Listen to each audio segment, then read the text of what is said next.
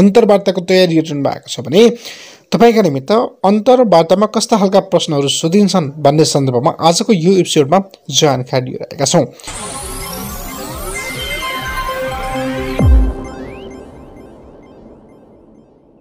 Okay नमस्ते नि हार्दिक स्वागत छ ब्राइटर नलेजको तर्फबाट म डिआर काफले। आजको विषयमा विशेष गरेर अन्तर्वार्ता शिक्षक सेवा आयोगको तयारी गरिरहनु भएको छ। अन्तर्वार्ताको तयारी गरिरहनु भएको छ भने तपाईँका निमित्त अन्तर्वार्तामा कस्ता खालका प्रश्नहरू सोधिन्छन् भन्ने सन्दर्भमा आजको यो एपिसोडमा जानकारी लिइरहेका छौँ। ओके साथीहरू कुन ठाउँबाट हामीलाई हेर्दै हुनुहुन्छ कहाँबाट हेर्दै हुनुहुन्छ कमेन्ट बक्समा एउटा प्रतिक्रिया दिन नबिर्सनुहोला भिडियो लाइक गरेर सेयर गर्न सक्नुहुनेछ। साथीहरू आउनुहोस् अन्तर्वार्तामा कस्ता खालका प्रश्नहरू सोधिन्छन् भनेर भन्नु अगाडि पहिला अन्तर्वार्ताको उद्देश्यहरू के के हुन्छन् भन्ने कुरा बुझिहालौँ। साथीहरू विशेष गरेर तपाईँ कुनै पनि शिक्षक सेवा होस् अथवा लोकसेवा होस् अथवा कुनै प्राइभेट फर्मको अन्तर्वार्तामा तपाईँ जाँदै हुनुहुन्छ भने अन्तर्वार्ता लिनुका उद्देश्यहरू के हुन् त?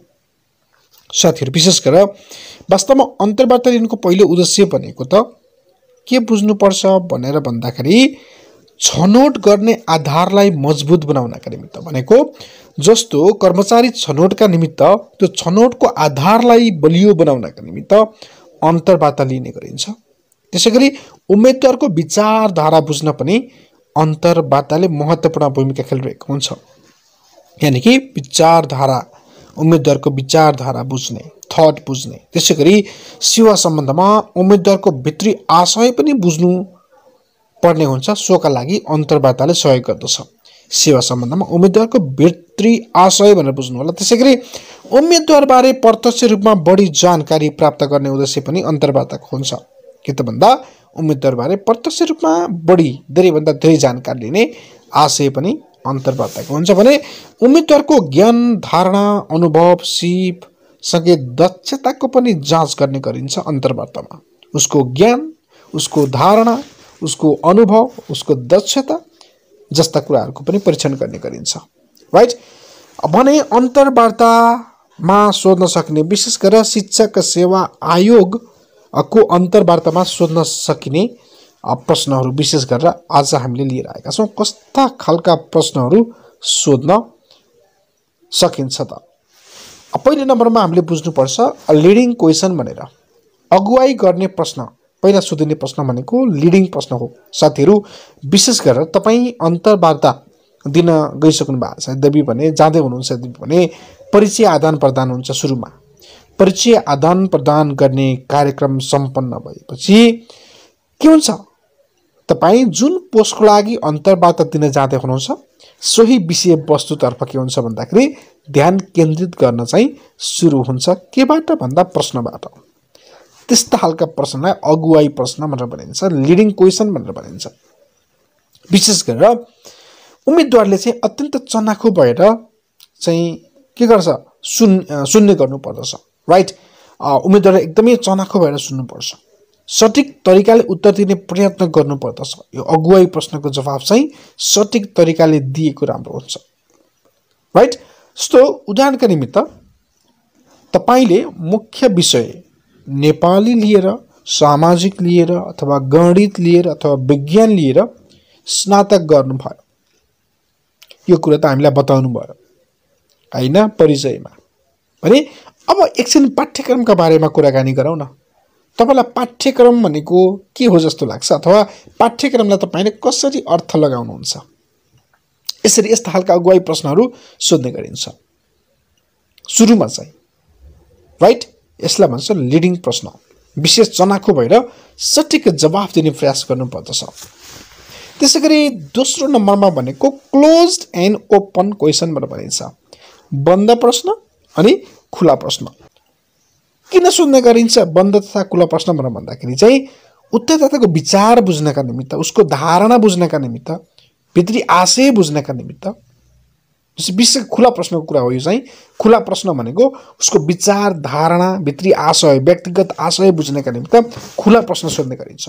जस्तै तपाईँ टिएससी इक्जाम दिएर चाहिँ अन्तर्वार्तामा जाँदै हुनुहुन्छ भने सोध्न सकिन्छ नि। यो शिक्षण पेसा त निकै कष्टकर र अप्ठ्यारो पेसा हो नि त। तपाईँले यो पेसालाई किन रोज्नुभयो? रोज्न किन उत्प्रेरित हुनुभयो? यस्ता खालका प्रश्न आउन सक्दछन्। खुला प्रश्न।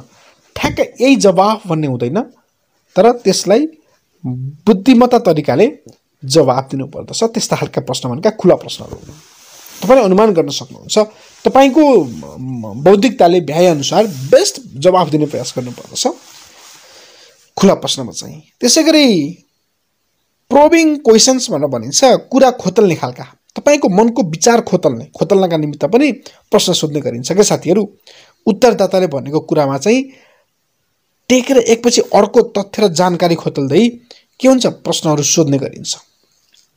उत्तरदाताले प्रश्नको उत्तर दिने क्रममा के हुन्छ भन्दा भन्दाखेरि चाहिँ कुनै नयाँ शब्द र विवादास्पद कुरा निकालेमा उत्तरदाता आफै प्रश्न नभएको विषयमा निर्णयात्मक उत्तर दिएको अवस्थामा सुन्नु साथीहरू यस्ता किसिमका प्रश्नको सामना गर्नुपर्ने स्थिति आउन सक्छ। यानि कि तपाईँलाई थाहै नभएको प्रसङ्गतिर लैजानुभयो भनेदेखि होइन? कुरा खोतल्न होइन? कुरा खोतल्ने खालका प्रश्न त्यहाँ निस्कन सक्दछन्। तपाईँले उसले जे प्रश्न सोधेको छ उसको सठिक जवाफ नदिइकन लम्बचौडा कुरा गर्नतिर लाउनुभयो लामो जवाफ दिन खोज्नुभयो भने त्यहाँ खोतल्नका निम्ति अर्को प्रश्नमाथि पनि प्रश्न तिर्स्याउन सकिन्छ। तपाईँ उसले जे सोधेको छ एक्ज्याक्टली त्योभन्दा बाहिरतिर जवाफ दिन चाहिँ कति पनि नलाग्नु होला। है त साथीहरू त्यसै गरेर तपाईँलाई सोध्न सकिन्छ रिफ्लेक्टिभ क्वेसन्स ख्याल गर्नुहोस् है। प्रतिबिम्बात्मक प्रश्न भन्ने गर्छ। यसलाई चाहिँ कुनै पनि विषय अथवा तपाईँको चाहिँ पास्टमा अथवा विगतमा भइसकेको अनुभव त्यस्ता खालका मामिलाहरू होइन त्यस्ता सम्बन्धमा चाहिँ उम्मेदवारको समीक्षात्मक व्यवहार समीक्षात्मक अनुभूति र उत्प्रेरणा थाहा पाउनका निमित्त रिफ्लेक्टिभ टाइपका क्वेसनहरू सोध्न गरिन्छ प्रतिबिम्बात्मक प्रश्नहरू सोध्ने गरिन्छ। उदाहरणको रूपमा तपाईँले तिन वर्षको शिक्षण अनुभवबाट राइट तपाईँले शिक्षण पेसामा असल अभ्यास कस्तो कस्तो पाउनुभयो उदाहरण दिन सक्नुहुन्छ? होइन। शिक्षण गरेको जुन जुन असल अभ्यासको उदाहरण दिन सक्नुहुन्छ? हेर्नुहोस् है प्रतिबिम्बात्मक रिफ्लेक्टिभ प्रश्न। विगतका अनुभवहरूलाई विगतका मामिलाहरूलाई तपाईँले शिक्षण पेसा अप्नाइसके पछाडि तपाईँले भोगेको नराम्रो घटना अथवा होइन तिनै तपाईँको पेसासँग सम्बन्धित रहेर प्रतिबिम्बात्मक प्रश्नहरू सोध्ने गरिन्छ। भने बहुउत्तर प्रश्न साथीहरू यो बहुउत्तर बहुउत्तर धेरै उत्तर हुने खालका प्रश्नहरू। हेर्नुहोस् है एकैपटक सोधिन्छ कि साथीहरू? कहिले यस्तो अवस्था आउँछ उम्मेदवारलाई नै अलमलमा पारिदिन्छ। अलमलमा पार्ने खालका प्रश्नहरू पनि आउन सक्छ नि त जसलाई बहुउत्तर प्रश्नबाट भनिन्छ। फेरि यस्ता खालका प्रश्नहरूलाई वास्तवमा चाहिँ उपयुक्त प्रश्न मानिँदैन साथीहरू। यस्ता खालका प्रश्नलाई हामीले पोर क्वेसन अनुपयुक्त प्रश्न पनि भन्ने गरिन्छ। कुरा गरौँ न। एकैचोटि हेर्नुहोस् है। तपाईँले शिक्षण विधि भन्नाले के बुझ्नुहुन्छ? गणित शिक्षणमा उपयुक्त विधि कुन हो? तीमध्ये तपाईँलाई कुन विधि बढी उपयुक्त लाग्छ? किन लाग्छ? कारण बताउनुहोस्। हेर्नुहोस् त धेरै जवाफ भएका प्रश्नहरू एकैचोटि तेर्साइदियो अन्तर्वार्ताकारले भनेदेखि चाहिँ त्यस्ता प्रश्नहरूलाई बहुउत्तर प्रश्न भनेर भनिन्छ। यसमा चाहिँ के हुन्छ भनेर भन्दाखेरि उम्मेदवारले यस्ता प्रश्नको सामना गर्नुपर्ने अवस्था आयो भने पनि मैले जवाफ दिन सक्छु भन्ने मानसिकता बनाएर जानुपर्दछ। अन्तर्वार्ता दिन जाँदाखेरि चाहिँ उसले जतिवटा जसरी जतिसुकै प्रश्न सोधे पनि मैले जवाफ दिन्छु भन्ने मानसिकता तपाईँमा हुनुपर्दछ। साथीहरू त्यति मात्र होइन अल मल्याउने खालका प्रश्नहरू पनि सोध्ने गरिन्छ। एकैचोटि लामो उत्तर दिनुपर्ने प्रश्न सोध्ने हेर्नुहोस् है एकैचोटि लामो उत्तर दिनुपर्ने प्रश्न सोध्न सकिन्छ। व्यक्तिगत मामलाका चाहिँ सम्बन्धमा प्रश्नहरू सोध्ने गरिन्छ। बहुउत्तर आउने खालका प्रश्नहरू सोध्न सकिन्छ कहिलेकाहीँ। धेरै खालका उत्तरहरू भएको प्रश्न। कहिले व्यक्तिगत पृष्ठमा आँच आउने कहिले विषयवस्तुभन्दा बाहिर गएर पनि प्रश्न राख्न सकिन्छ कहिलेकाहीँ हेर्नुहोस् है। प्रसङ्गभन्दा बाहिरका प्रश्नहरू सोध्न सकिन्छ।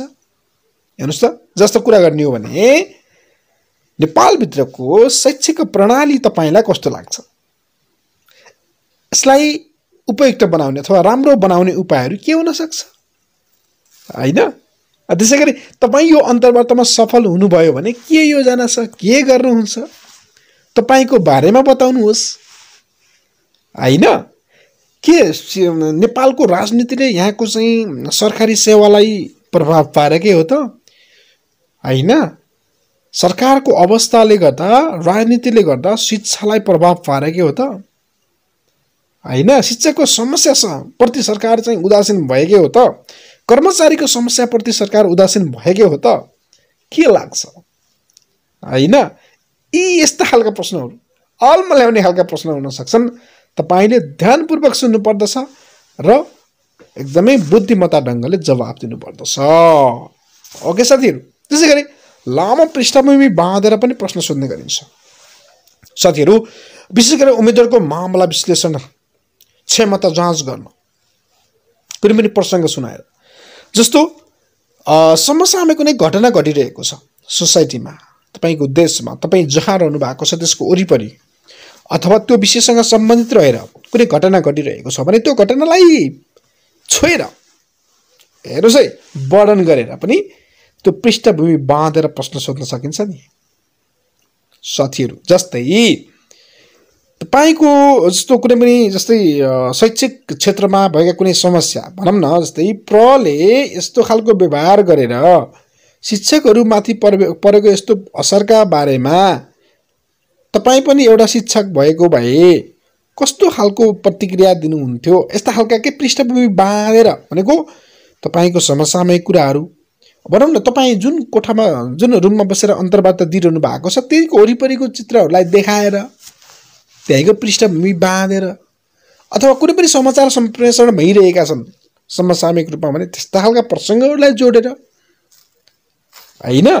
अनि ती समस्या समाधानका उपायहरू सोध्न सकिन्छ निराकरणका उपायहरू सोध्न सकिन्छ। होइन यस्तो कुराहरू तपाईँले ख्याल गर्नुपर्ने हुन्छ। साथीहरू त्यसै गरी काल्पनिक प्रश्न पनि सोध्ने गरिन्छ। राइट काल्पनिक प्रश्न। विशेष गरेर उम्मेद्वारको कल्पना शक्ति जाँच गर्नका लागि यस्ता खालका प्रश्नहरू सोध्ने गरिन्छ। काल्पनिक प्रश्न इमेजिनेरी क्वेसन भनेर भनिन्छ।